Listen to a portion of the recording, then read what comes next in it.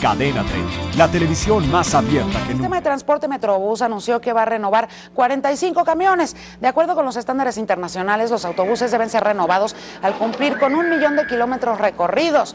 Por lo tanto, Guillermo Calderón, director general del Metrobús, señaló que a fines de este año estos 45 autobuses cumplirán el kilometraje máximo. Estas unidades serán modificadas para ampliar su periodo de Suscríbete a uso. nuestro canal de YouTube para que siempre estés informado de las últimas noticias de México y el mundo.